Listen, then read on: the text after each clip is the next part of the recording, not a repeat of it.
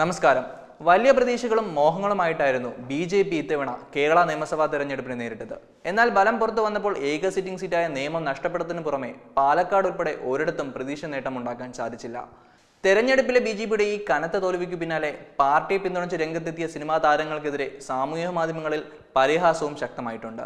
നേരത്തെ തന്നെ തന്റെ ബി ജെ പി അനുഭവം വ്യക്തമാക്കിയിരുന്ന നടി ലക്ഷ്മി പ്രിയയ്ക്ക് നേരെയും ഇത്തരം പരിഹാസം ശക്തമായിരുന്നു.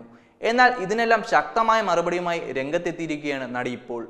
ബി ജെ പിയുടെ സീറ്റ് നേടിയാലും ഇല്ലെങ്കിലും ഞാനെന്നും സംഘപുത്രി തന്നെ ആയിരിക്കുമെന്നുമാണ് ലക്ഷ്മി പ്രിയ ഫേസ്ബുക്കിൽ കുറിച്ചത്. മരണം വരെ ബി ജെ പിക്ക് വോട്ട് ചെയ്യുകയും ചെയ്യും. ജയപരാജയങ്ങളുടെ പേരിൽ ആരൊക്കെ പ്രസ്ഥാനത്തെ വിട്ടുപോയാലും ഞാൻ പ്രസ്ഥാനത്തിനൊപ്പം തന്നെ ഉണ്ടാവുമെന്നും നടി ഫേസ്ബുക്കിൽ കുറിക്കുന്നു.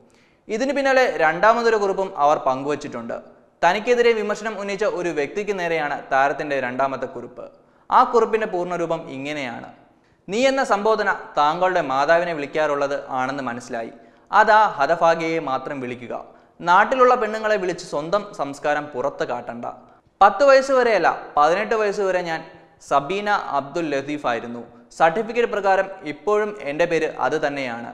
എന്റെ പതിനെട്ടാം വയസ്സിൽ ഞാൻ വിവാഹിതയാവുകയും പട്ടണക്കാട് പുരുഷോത്തമന്റെ മകൻ ജയേഷിന്റെ ഭാര്യയായി എന്നും ഹിന്ദുമത ആചാരപ്രകാരം ആയിരുന്നു വിവാഹമെന്നും അതിനുശേഷം ലക്ഷ്മിപ്രിയ എന്ന പുനർനാമകരണം ചെയ്യപ്പെട്ടു എന്നും അതിനുശേഷം മാത്രമാണ് ഞാൻ സിനിമയിലേക്ക് വന്നിട്ടുള്ളത് എന്നും ഈ നാട്ടിലെ ഏത് കൊച്ചുകുട്ടികൾക്ക് പോലും അറിയാം.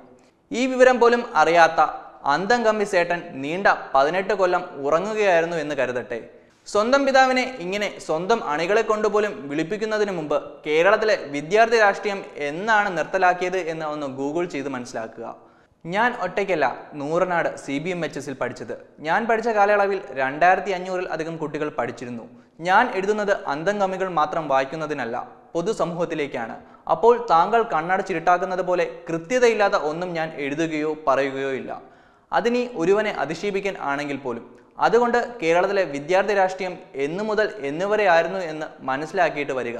വെറുതെ പ്രതിസ്മരണ നടത്താൻ ഒരുമ്പെട്ട് വരാതെ. Okay bye thanks. Web desk തത്തുമൈ